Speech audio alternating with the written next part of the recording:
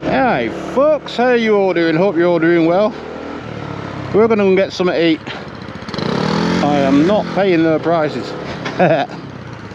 it's 24 degrees Celsius. Feels hotter than that.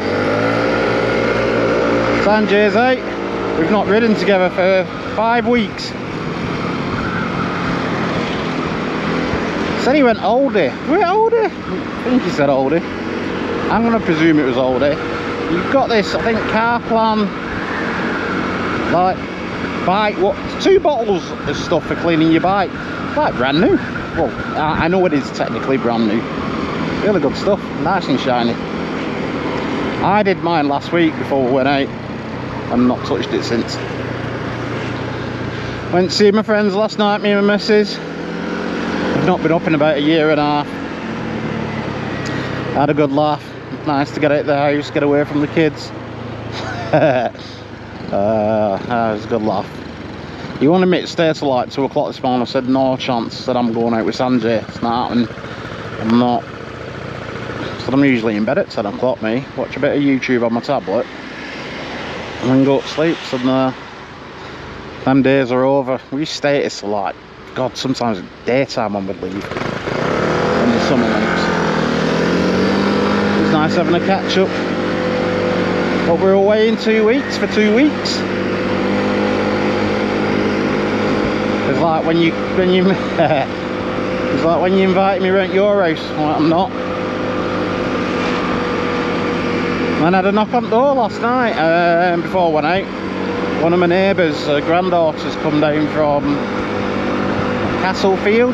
Did about 65 miles come and see a grandma. She on a Lexmoto, I think it was a ZSB, something like that. It broke down basically. Um, and as soon as I switched her ignition on, said no power going to your fuel pump. Can't hear it priming. And it weren't cranking over, so I put a jump start starter on it to try and crank it over. Popped the seat off and there's a relay. And I said, right, so they're all talking. I said, can you just be quiet a minute? I want to see if I can hear this relay. And the relay weren't firing up. So I think the relay's gone. But she said, it's a second-hand bike. She bought it like a private sale. And she said on her way down yesterday, um, she'd gone through some rain. But I didn't want to tell her she was a young girl. Um, under the fuel tank, somebody's been messing with the wiring. They've cut some wires out. Don't know why obviously. Um, and then put bullet connectors in and not even sort of like wrapped them with tape and everything they've just left them so it looks like that bike's had a fault in the past and they've bodged it. But I didn't have the heart to tell her because she was like really really upset. Don't get me wrong her mum was there. She was quite happy to take her back home and stuff um, in a car. So she's ended up having to leave it in her grandma's. and I said oh let me know how you get on. And literally while we're doing that my son-in-law turned up to pick his son up from ours our grandson. And I said what the hell's that noise? He's got a SQ5 I said pop your bonnet. And I look where the air filters were and you can hear this noise. It's like it's sucking in really hard then it stops and repeats and it just kept repeating itself over and over but it was only doing it in drive when you put it into drive when it were in neutral it weren't doing it but I had a look at it a few weeks back. Apparently they'd gone for a service and um, they've just had his money off him because the oil was like treacle. It was horrible. I said, you need to take it. I said, it's going to cost you more, obviously, if you take it to Audi. I said, but you know, the main dealers, they'll go through the car. Because I said that they change it, because it's got about something like 100 and, over 100,000 or just under 100, I can't remember. But I said it could do like with the oil and the diff being. Me personally, said it's a bit weird on gearbox sometimes, it's an auto. I said I'd just have an oil change on, on that as well. So I said you're gonna have to get it looked at. He's paid a lot of money for it. I think he's paid about 25 grand for it. And I for him, the dealership he bought it from's gone bust so it's not like you can take it back to them I said just get it into Audi But he did me a fantastic neck tattoo on, what day did it? Friday. Really, really good. Absolutely love it. Took him about four hours. Because my missus were going mad. She's like, oh, because I've got my missus' name on one side of my neck. It's like, you're tattooing over my name. I've got like the rest of my body put your name on, don't worry about it. But yeah, he did a cracking job. Did it for a birthday treat for me. But he said, oh, when you come back off your holiday, I'll put you in again and get the rest of your neck done. GC3RS.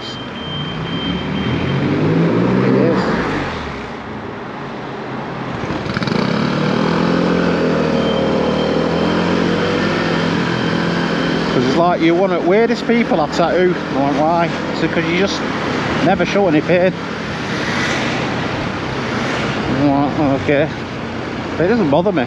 Irritating. I find it, it's like an addictive irritation, if that makes sense. Those of you that have had tattoos and you get more and more tattoos, you'll totally understand what I mean. Because um, after he did my last one, not the one he did on Friday, it was like, that's it, I don't think I'm having any more. But when he said, oh, I'll do your tattoo for your birthday if you want, we'll do a neck tattoo. And I just give him free rein. I said, you pick what it is. It's like a Sa you the face of a samurai warrior with a mask on? Really, really cool. It's like, bloody hell, you barely even uh, bled when I did that.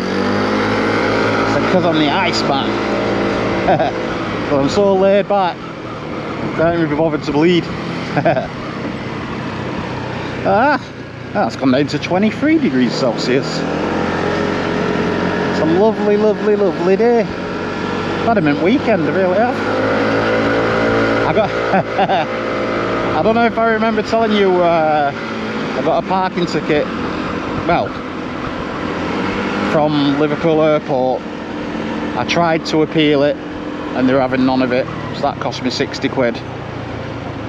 And then we had to take our daughter on Wednesday to Manchester Children's Hospital or whatever it's called Never been before in my life. Anyways, got a parking ticket there as well.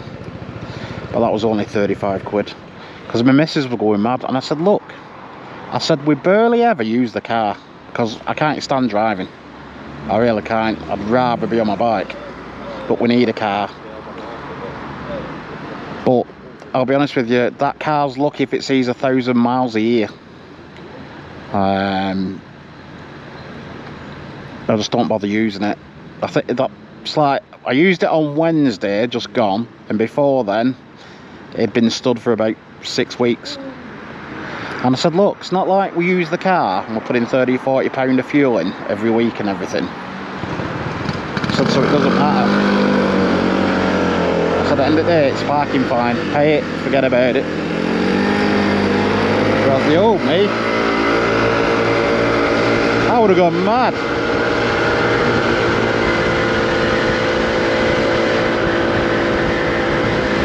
But it is what it is. Like I said, it just it doesn't bother me. If I was putting like I said 30 40 quid a week in fuel and everything and we all know how much fuel costs and insurance and all that stuff I'd be slightly irritated but it just doesn't bother me and I won't mind my missus is one of them she's like everything happens for a reason so there you go and I won't mind, I got one last year we went on holiday because we went in car. And that were, I think that were 25 quid.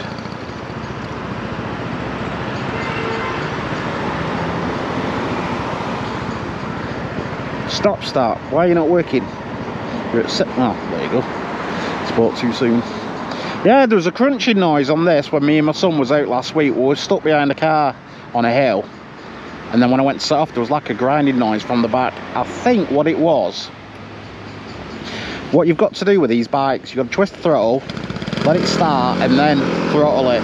If you try and twist the throttle the bike will just sort of like try bogging on you. And I think what it was you don't use the starter motor on the stop start. They use some other system. Don't ask me how it works. I've not a clue I think that system was still partly disengaging because I went on the throttle straight away because we were on a really steep hill when I wanted to set off. So just be wary of that folks if you buy one of these. if you've got to stop start. Because watch, I'll try and pin it. See, it doesn't want to know. You've got to let it start. The person doing it this white car, oh my days. Yeah, just give it a little twist, let it fire up, and then hit the throttle.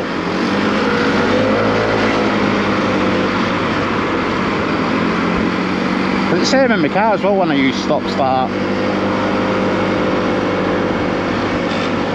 But that's what I'm presuming it was. I thought it was something in the drivetrain at the back, but it's not. It's been perfectly fine. And it's still picking up like more and more power as the engine's running in. I'm at 685 miles. And what, we're at the end of July and I got it at the end of March. What's that, four months? I would have expected me to do more than that actually. I'm quite surprised. I was just telling Sanjay off camera actually. I just said like I said when did we take it and get services like June? I went, ah right. I said so it's six months later. Said which is technically is it November? I said I'm gonna take mine and sort of late September before it starts getting really cold. Get it done. And then I think it's 12, yeah, because I think it goes three month, six month, and then every 12 month. Something like that. My son's not coming out today. He's like, oh, I'm having a chill day. He's had his son all weekend. Alright, no worries.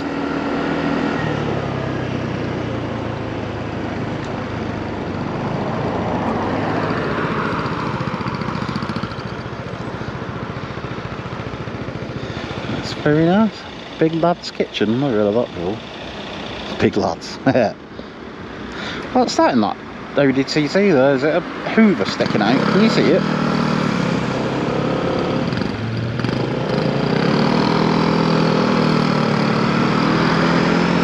Yes it is. Taking Hoover for a spin.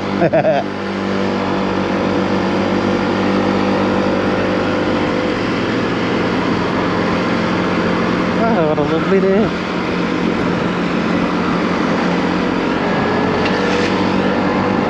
Sure that dealership used to open on a Sunday. Maybe not. That'd be seven days a week, wouldn't it?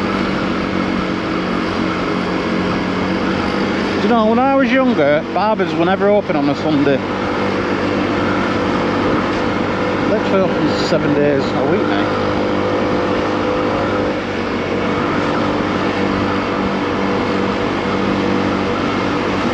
Yeah, my mate, I went, no, like, he's got one of them patio heaters, no, the Calor Gas bottles. And he has to pay like, I think he said 30 quid deposit. I said, why are you bothering with them? Because No choice, don't have them. I said, no. I said, you can buy your own bottle. And down the road from where he lives, about a mile down the road, it's called Bolton Bottle Gas. I said, you take it to them. I said, you can buy them, like, from Argos. I said, and you go down to him and get LPG, he'll fill it with LPG for about six or seven quid. And he's like, you're kidding me? I'm like, no.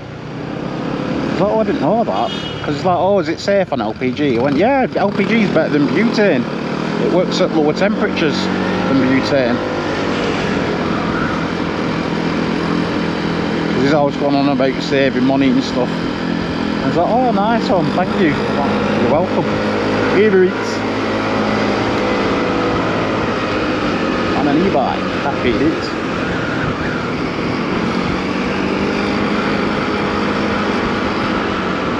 Uh, gonna go McDonald's, I'm presuming we're gonna go to the barn.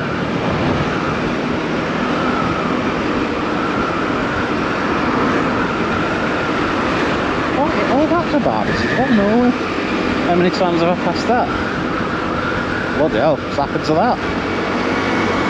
Bang!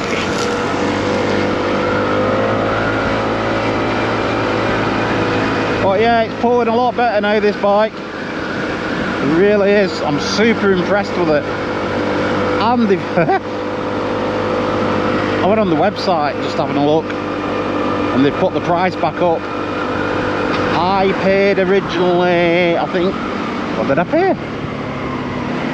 What? Eh, basically I paid the full price for it and then literally two days after I'd paid for it they deducted it by about 350 quid I, I already told you this story. Um, I rang them and they give me the money back but they've put them back up now. 280 or something like that. 2000 I don't know but yeah they've gone back up now in price. It's a brilliant brilliant brilliant bike. It really is. I love it bits. I don't even know what I want to eat. I'm not even sick of that although it's one o'clock. Right, folks, I'm going to end here. Thank you all so much for watching. I really appreciate it as per usual. And as always, take care of yourselves and each other. And I'll catch you in the next one. Bye now.